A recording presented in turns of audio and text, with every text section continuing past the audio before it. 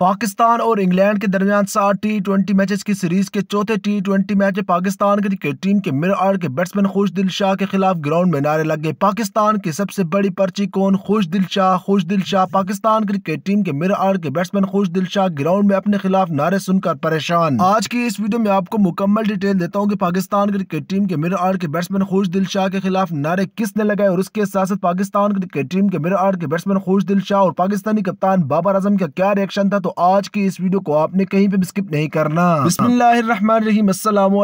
एक और नए वीडियो के साथ आपकी खिदमत में हाजिर हूँ आप देख रहे हैं हमजा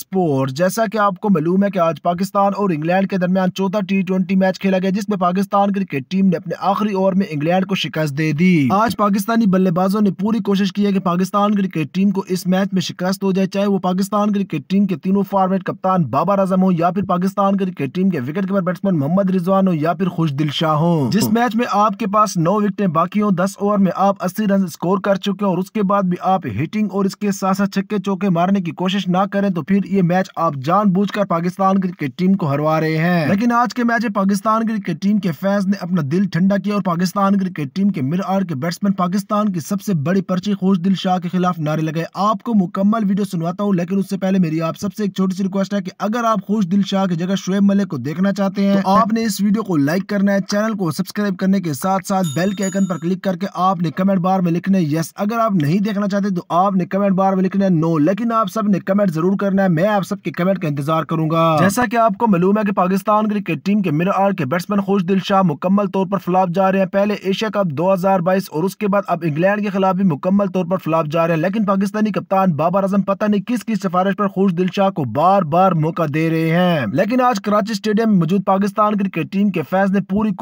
कौम का दिल खुश कर दिया क्योंकि खुश दिल शाह जब बैटिंग करने आए तो पूरा ग्राउंड एक साथ मिलकर पर्ची पर्ची के नारे लगा रहा था और खुश दिल शाह अपना सर झुकाकर खेलने की कोशिश कर रहे थे और वो ना खेल पाए पाकिस्तान की सबसे बड़ी पर्ची खुश दिल शाह के खिलाफ जब नारे लग रहे थे तो उस वक्त पाकिस्तान क्रिकेट टीम के खिलाड़ियों पर जब कैमरा गया तो पाकिस्तान क्रिकेट टीम के जितने भी खिलाड़ी है वो भी नीचे मुंह करके बैठे हुए थे उनको भी पता है की हम ये पर्ची खिला रहे हैं तो अब पाकिस्तानी कप्तान बाबर आजम की क्या मजबूरी हो सकती है आपने वो मजबूरी हमें कमेंट बार में जरूर बताने है खुश दिल शाह को बाहर नहीं कर रहे